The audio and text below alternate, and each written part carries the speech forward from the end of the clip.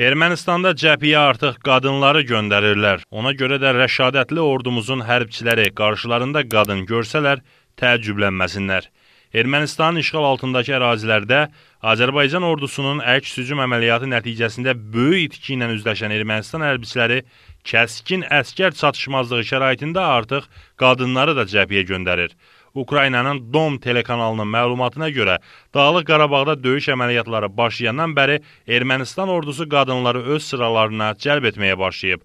Artıq cəbhə bölgəsinə 98 qadından ibarət dəstə göndərilib. Ümumiyyətlə Ermənistan hərbçiləri təxminən 400 qadını döyüşə cəlb etməyə hazırdır.